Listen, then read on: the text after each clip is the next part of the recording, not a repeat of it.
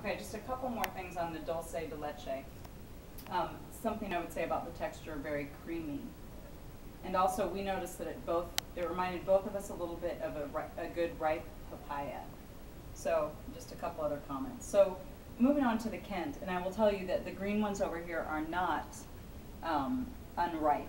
Everything on here is very ripe, even this.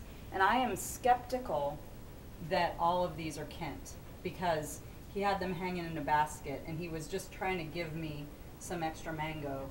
Uh, but I think that the Kent has this mottled, you can see it's almost got a brownish to it, and that's not because it's rotten. It's like a mixture of color. Here's another one where you can see that. But you can also see these are ripe, very ripe. This mango is fantastic. It's got very little fiber in it, um, cuts way down to the seed.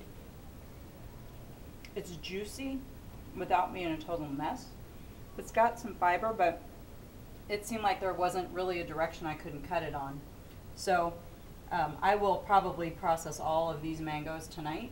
Uh, so we might not do anything special with Kent. Uh, might be a sorbet because they're really ripe and they're going to need to be cut up tonight. Um, so I will say a couple more things though about, I would say that there's a honey flavor to this one. And it really melts against your teeth. I can't think of another fruit like that that it's almost like you could just mash it with your tongue. It doesn't need to be chewed. Um, yeah, that's definitely true. You don't have to chew this one. Suppose it's like a, a nectarine. It's more like a nectarine.